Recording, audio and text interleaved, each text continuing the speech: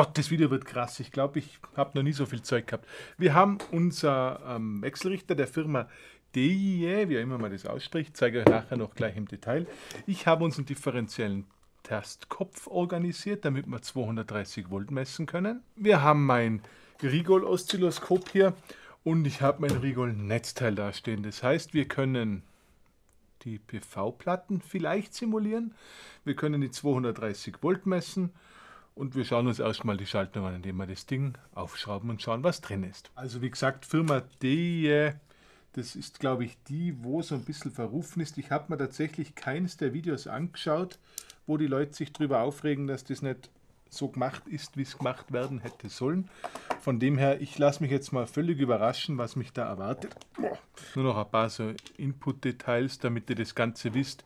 Der Inverter kann maximal 60 Volt Eingangsspannung. Er kriegt jetzt 25 bis 55 Volt. Er kriegt quasi, hat quasi hier zwei String-Eingänge, einmal hier, einmal da. Wir haben einen Eingangsbereich 13 mal 2 13 Ampere, zweimal kann er maximal ab, 230 Volt gibt er aus und 2,6 Ampere maximal. Sollten also ungefähr 600 Watt sein, wenn man das ausrechnet. 96,5% Wirkungsgrad soll er haben. Ich weiß es nicht. Er hat hier einen Anschluss für einen weiteren äh, Wechselrichter. Nicht aufkriegen sollten wir jemals. Er ist oben geklippt. Man könnte quasi mehrere Wechselrichter in Serie hintereinander schalten, dann könnte man also auf mehr Leistung kommen. Das Kabel ist enorm dick von dem Teil. Also das hat ähm, 3C, also drei Phasen, 12 AWG. 600 Volt kann er ab, Feuchtraum oder trocken, bis 90 Grad kann es ab. Also ist ein Kabel, das mehr Temperatur ab kann als die normalen. Und ja, Dir, Bür, Sun, Res, also direkt Burn, Sun Resistenz. Also ich gehe mal davon aus, dass vermutlich UV ähm, fähig ist, also das Neckkleider-Isolierungszeugs abbröselt, weil ein bisschen Sonne drauf scheint und bis minus 40 Grad kann das Ding auch noch ab. Also ein erweiterter Temperaturbereich. Na gut, dann schrauben wir mal auf und schauen, was uns erwartet. Na, ich glaube echt, das ist vollflächig verklebt, das Ding. Zwei Stunden später. Planänderung. Wir geben Spannung drauf. An dem Teil hier. Dazu brauchen wir aber einen Zwischenadapter. Ich habe zufällig einen perfekten Zwischenadapter gefunden und zwar eine Dreifachsteckdose. Bedeutet, wir können die jetzt hier einfach ein. Das irritiert mich ein bisschen, dass das Ding klappert. Das schrauben wir jetzt mal sicherheitshalber auf.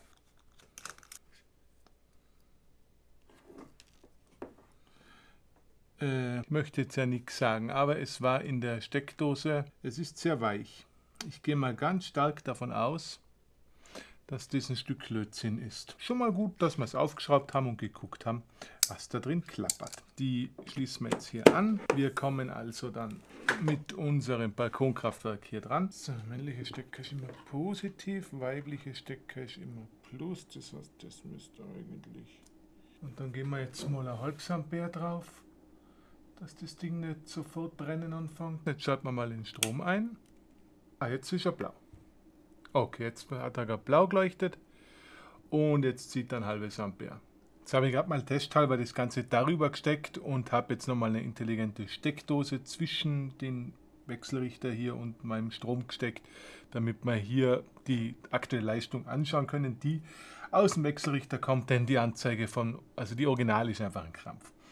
Und jetzt will ich aber nur mal schauen, weil ich bringe jetzt hier 24, also laut Netzteil kommen irgendwas zwischen ja, 25 und 29 Watt raus. Der versucht jetzt hier natürlich zu trecken. Hier kommen ungefähr 25 Watt raus.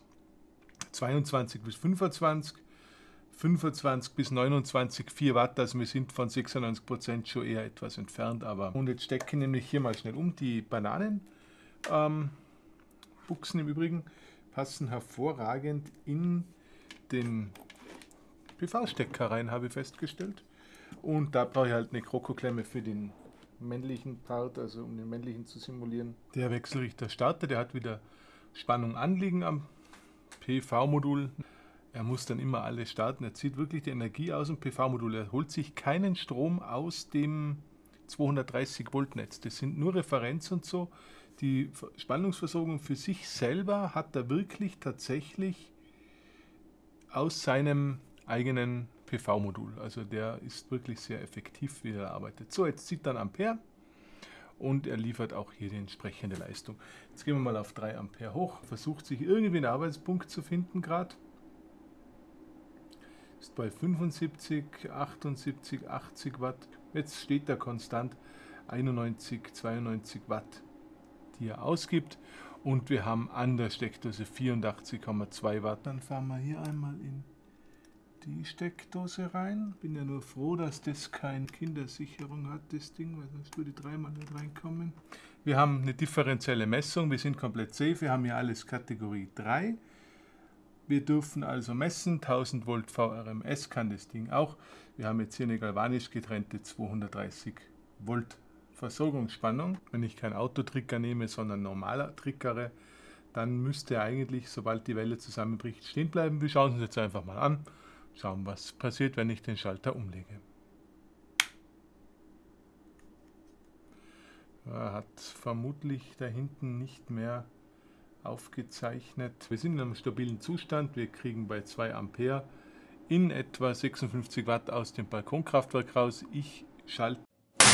Also auf jeden Fall ist aus mir nicht nachvollziehbaren Gründen gerade der FI von der ganzen Wohnung geflogen, wo ich den Stecker da ausgeschaltet habe, was mich jetzt ein bisschen irritiert, weil eigentlich sollte der FI fliegen, wenn, wenn ich eine Steckdosenleiste ausschalte. Arbeitspunkt gefunden, er liefert die 50 Watt, wir schalten das ganze Ding aus und wieder der FI, ich krieg die Krise. Der letzte Versuch, wenn es jetzt nicht klappt, lassen wir es gut sein. Ich schalte die Spannung aus, es funktioniert, er triggert. Man kann jetzt was Wundervolles erkennen. Zum einen haben wir schon mal eine Überspannung da, die kurz auftaucht. Ich bin gerade etwas beunruhigt, wie sowas eine CE-Prüfung haben kann, kriegen kann. So, wir schauen uns das Ganze nochmal hier am Screenshot vom Oszilloskopbild an. Ich habe vermutlich irgendwo hier, wo auch immer, die Spannung ausgeschaltet mit der Steckerleiste und eigentlich würde ich jetzt erwarten, dass die Halbwelle hier weiterläuft und irgendwo hier der Wechselrichter eine Spannung von 0 ausgeben würde, so wie es eigentlich sein sollte.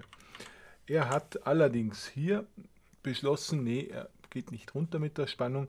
Er hat sogar einen Spannungsüberschuss, also er gibt sogar nochmal deutlich mehr Spannung aus. Das schauen wir uns nachher gleich an, wie viel das ist. Plus anstatt, dass er hier ungefähr bei 0 sein sollte, 50 Volt Wechselspannung, die er haben sollte, darf er immer sind wir mal in dem Bereich, dann haben wir hier 100, 200, 300, 350. Rechnen wir es gut. Sagen wir Viertelsekunde, wo Spannung noch drauf ist, die auch gefährlich sein könnte. Natürlich kann man jetzt sagen, okay, man ist nicht so schnell, dass man in einer Viertelsekunde, in einer halben Sekunde, wie auch immer wir das ausrechnen, den Stecker raussteckt und auf die Zunge fährt, damit man einen kleinen Schlag auf der Zunge kriegt. Das wird man vermutlich nicht hinkriegen, aber es ist, soweit ich das jetzt beurteilen kann, nicht sonderlich gut und auch nicht wirklich erlaubt, dass er nicht innerhalb von einer halben Halbwelle wieder abschaltet. Das Ganze kann natürlich auch sein, dass das der Grund ist, warum mein FI fliegt, weil er hier einen Spannungsüberschuss hat. Vielleicht leitet er da irgendeine Überspannung über ein PE zurück und das reicht dann vielleicht, dass der FI fliegt. Ich weiß es nicht ganz genau. Allerdings schauen wir uns das Ganze jetzt nochmal an in gemessener Variante. Ich habe hier unten BY gemessen. BY ist minus 302, 320 Volt minus 320 Volt entspricht den 230 Volt RMS, die wir haben. Also effektiv hat 230 Volt, 320 Volt die Spitzenspannung. Die Spitze hier oben, die der Wechselrichter uns generiert, hat 423 Volt.